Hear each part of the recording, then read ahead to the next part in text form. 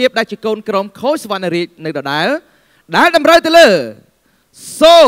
សុផលីននេះជាក្មេងស្រីម្នាក់អាយុ17ឆ្នាំមកពីខេត្តកំពតសូសុផលីនមានសម្លេងមិនធម្មតា Forgive me ពិតជាក្មេងស្រីមិនធម្មតាមែននាងទទួលបានដល់ទៅ4កៅអីដោយសារនាងបានជ្រាបបទដ៏តឹងបំផុតមួយក្នុងលោក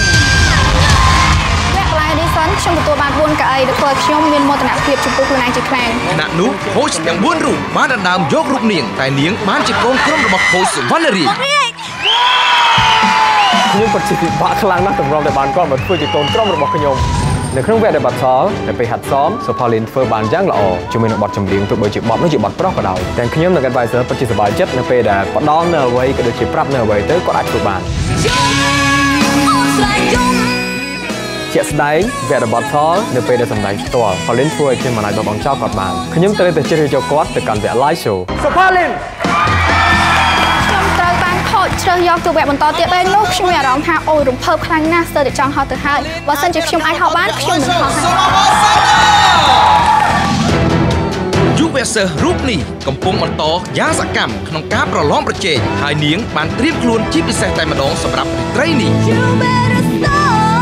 នៅក្នុងវគ្គ live show នេះដែរខ្ញុំបានត្រៀមខ្លួនដូចជាស្រេចហើយពីព្រោះថាខ្ញុំបានទទួលដំបូន្មានល្អល្អៗពីខូចរបស់ខ្ញុំគាត់បានបញ្យល់ខ្ញុំជាច្រើននៅពេលដែលសមទើមនោសញ្ចេតនា សូមឲ្យមានមនោសញ្ចេតនាជាងនឹងទីទៀតយើងគួរតែបាន Pauline គាត់ធ្វើបានយ៉ាងល្អខ្ញុំពិតជាស្រឡាញ់និងពេញចិត្តនឹងសមត្ថភាពរបស់គាត់សម្រាប់បទចម្រៀងមួយបទនេះរំឈឺនៅក្នុងពេលវឹកហាត់ខូចរបស់ខ្ញុំមានការយកចិត្តទុកដាក់ខ្លាំងណាស់នៅក្នុងការបង្ហាត់បង្ហាញខ្ញុំដូច្នេះហើយខ្ញុំនឹងយកអ្វីដែលគាត់បានបង្ហាត់បង្ហាញនេះមកកែនៅកំហុសដែលខ្ញុំធ្លាប់មានដូច្នេះនៅពេលបន្តិចទៀតនេះគាត់នឹងច្រៀងបទចម្រៀងនៅបទនេះអញ្ចឹងខ្ញុំជឿជាក់ថាបងប្អូននឹងស្រឡាញ់ពេញចិត្តហើយបោះឆ្នោតជូនបាយកណ្ឌិតម្នាក់នេះ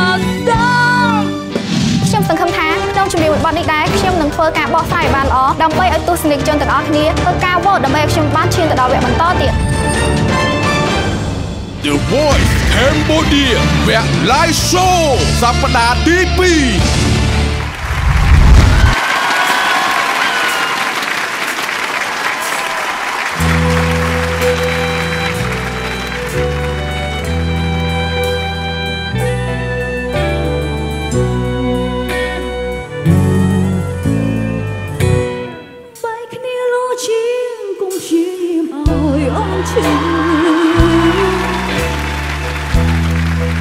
សំបងលេងខ្វល់ខ្វាយកុំស្ដាយក្រោយពួកយើងគួរតែបាយបើចិនអស្មោនៅក្បែរក៏គ្មានន័យអ្វីអូនចង់ឲ្យបងរីករាយរសាយគុំទ្រាំឈឺនំខ្វល់ Oh, oh, oh, you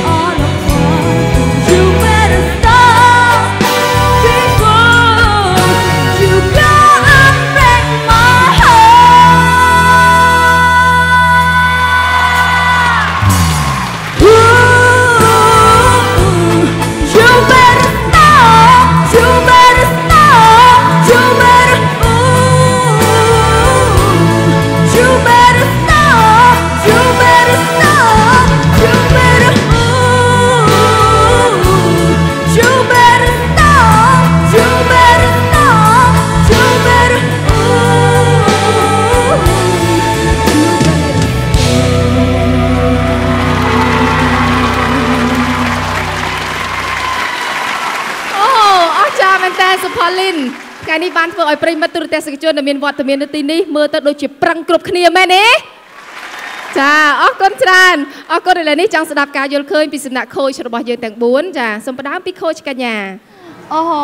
សុផាលីនគឺថាទទួលបានវិញ្ញាសាដែលតឹងរឹងមែនតើពីខូចសវណ្ណរាជ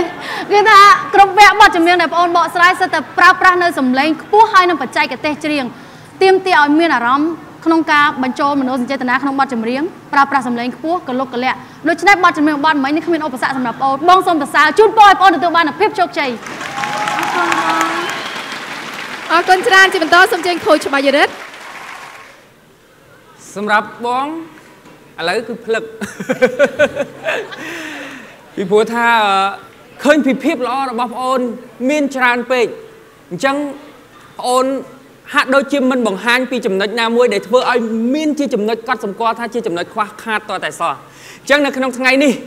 សុផាលីនមានភាពល្អប្រសើរមួយដែលធ្វើឲ្យបងក៏ដូចជាទស្សនិកជនភ្ញាក់ផ្អើលជាមួយនឹងសមត្ថភាពរបស់ប្អូនអញ្ចឹងសូមជូនពរឲ្យសុផាលីនទទួលបានជោគជ័យទៅកាន់វគ្គខាងមុខទៀត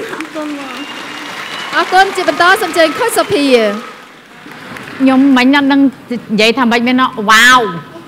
គឺថាបងអូនបងពិតជាច្រៀងបានល្អមែនតើចំពោះបទចម្រៀងបទនេះគឺមិនតែប៉ុណ្ណោះទាំងកាយវិការទាំងការស្រែកនៅមួយទៀតគឺសំឡេងថាសំឡេងខ្មោចនោះថាញាក់សាច់តែម្ដងសម្រាប់បង មានតែពីបំបត្តិក៏ជូនពរបងអូននៅក្នុងរាត្រីនេះទទួលការបានវោតបានច្រើនចាអរគុណអូន អរគុណច្រើនសំឡេងហូរកញ្ជ្រៀវស្នាមញញឹមរបស់អ្នកទាំងអស់គ្នាបានធ្វើឲ្យបេះដូងរបស់ខូចដែលជាគ្រូបង្វឹកនោះដូចជាខុសប្លែកធម្មតាហើយចាដូចរៀងលោតខុសធម្មតាចាឥឡូវចង់ស្ដាប់ការយល់ឃើញពីសំណាក់គ្រូបង្វឹកចាសូមជើញខូចសវណ្ណរាជអរគុណខ្ញុំបាទពិតជាមានអារម្មណ៍សប្បាយរីករាយនៅពេលដែលមានសុផលិនជាកូនក្រុមរបស់ខ្ញុំហើយគាត់គឺជាបេក្ខនារីម្នាក់ដែលពិបាកនឹងដណ្ដើមពីខូច3នាក់ទៀតនៅក្នុងវគ្គ The Blind Audition ហើយពីមួយវគ្គទៅមួយវគ្គបងអូនតែងតែវិវត្តខ្លួនបានយ៉ាងល្អសមត្ថភាពរបស់ សុផលិនមានហើយនៅពេលដែលបងប្រាប់បន្តិចបន្តួចទៅគឺបងអូនឆាប់ចាប់បានមែនទែនទាំងការដាក់មនោសញ្ចេតនាបទចម្រៀងណាក៏បងអូនអាចទៅរួចជាក់ស្ដែងនៃបទ You Better Stop ម្ចាស់បទក៏គាត់ក៏គាត់បាននិយាយហើយគឺថាពិបាកបទនេះគឺពិបាកខ្ញុំស្រឡាញ់បទនេះហើយខ្ញុំពិតជាចង់ឲ្យសុផាលៀនបកស្រាយនៅបទចម្រៀងនេះតែគាត់អាចធ្វើបានយ៉ាងល្អជាចំថ្ងៃនេះសុផាលៀនធ្វើបានយ៉ាងល្អបងសប្បាយចិត្តជូនពរឲ្យសុផាលៀនខ្លាចជាបេក្ខនារីម្នាក់ដែលទទួលបានការគាំទ្រច្រើនពីទស្សនិកជននៅក្នុងយប់នេះជូនពរបងអរគុណ ចាអរគុណច្រើនប្រិយមិត្តទូរទស្សនិកជនបើសិនជាពេញចិត្តនៅសមត្ថភាពក៏ដូចជាទឹកដមសម្លេងរបស់បៃខនារីរបស់យើងដែលជាកូនក្រុមរបស់ខូចសវណ្ណរាជសូសផាលីនមានលេខកូដសម្គាល់ខ្លួនរបស់គាត់គឺលេខ11សំត្រៀមណាបោះឆ្នោតគ្រប់គ្រងឲ្យគាត់ឲ្យបានច្រើនបំផុតតាមដែលធ្វើទៅបានអរគុណជូនពរសផាលីនសំណាងល្អណាអូនចា